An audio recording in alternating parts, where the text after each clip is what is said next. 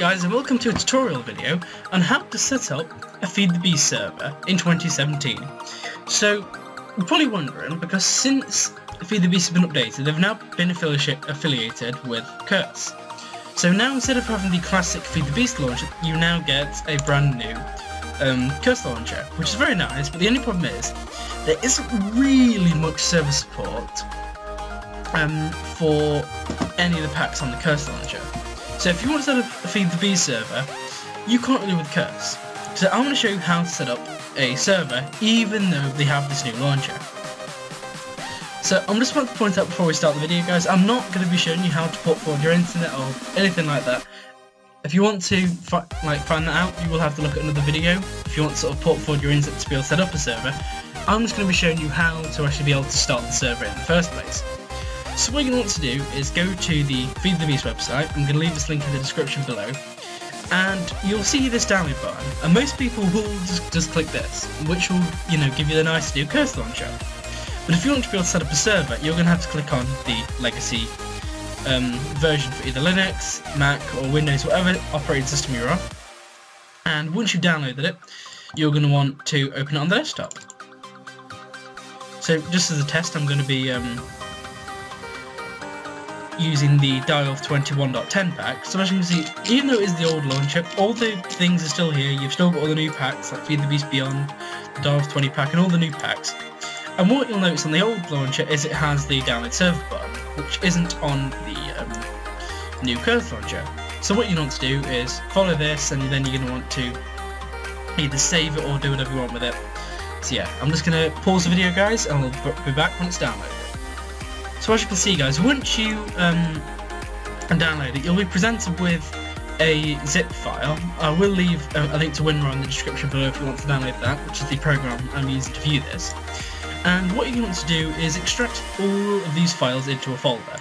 I'm going to put them in this folder I created called test server. So it may take a bit of time depending on the speed of your computer, but as you can see now if I open it, you're going to want to run the Feed the Beast install window, which as you can see it's going to progressively you know install all the files that it needs. So yeah, this may take a bit of time, like I said, depending on the speed of your computer, but there you go, mine's done. And then you're going to want to hit the server.start um, file. Now, this is where a lot of people can get stuck, because basically it tells you at the, stop, at the top of the window, the server is basically, the startup says will fail. And like a lot of people tend to miss that, and this is where a lot of confusion can happen. So what it's going to do is it's going to go through and generate all the files that it needs. The only problem is, um, it's going to basically crash at the end. And if you try and run it progressively, like continually, it will just continually crash. So I'm going to let all the files, you know, I'm going to let it create all its files and do what it needs, and then we'll be right back, guys. Okay guys, so the server window basically closed, and it generated all the files that's needed but it's not actually going to go ahead and run the server for you in its current state. As you can see if I run it, it says make sure you read the EULA.txt before playing. So what you're going to want to do before you run the server is read the EULA and change this false to a true value.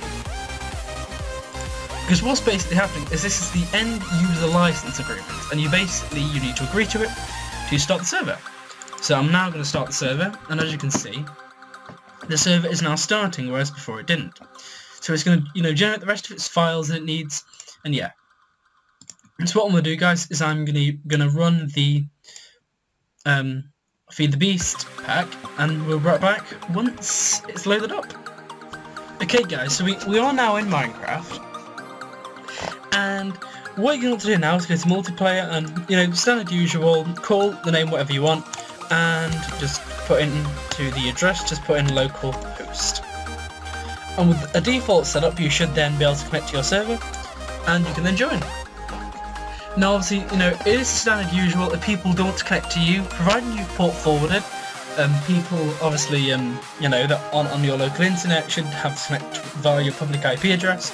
Also people who are on your internet can use the local IP4 address. But yeah, that's basically the gist of how to create a server, so as you can see, I've just created my server, and I've now been able to log in, and here we go. So as you can see, we're now on the um, Direwolf20 1.10 pack, everything's loaded in, and I'm now on my Feed the Beast server. So yeah, Um, and to my knowledge, I do believe the people who are using the Curse launcher and the Feed the Beast launcher interchangeably, it doesn't matter which one you use to actually load up the game, um, the clients are identical. So whether you use the Curse one or the Feed the Beast one, you should be able to connect to um, the server. So yeah, thank you for watching guys. I've, I've been Peter Plum. I hope you guys have enjoyed this video. But yeah, I've been Peter Plum. Goodbye guys.